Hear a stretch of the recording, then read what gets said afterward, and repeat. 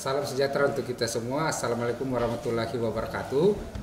Uh, terkait dengan adanya uh, informasi mengenai uh, ada masyarakat Toraja Utara pada tanggal dua hari yang lalu pada tanggal 30 30 April 2020 yang dilakukan uh, tes RDT yang hasilnya reaktif kemudian dilanjut uh, dua orang kemudian dilanjutkan dengan pengambilan swab pada tanggal tersebut.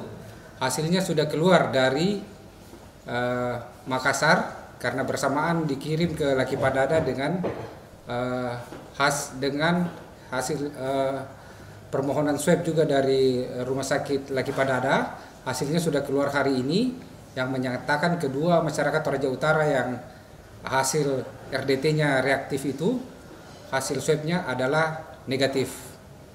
Jadi uh, sekali lagi hasil swabnya negatif tetapi sesuai dengan protokol kesehatan tetap dilakukan karantina mandiri dengan pengawasan ketat baik dari puskesmas setempat maupun pemerintah setempat untuk uh, tetap diisolasi mandiri secara ketat selama 14 hari.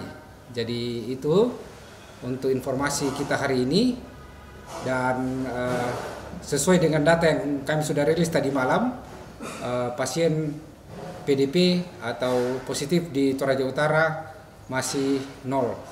Demikian disampaikan rilis untuk hari ini. Terima kasih.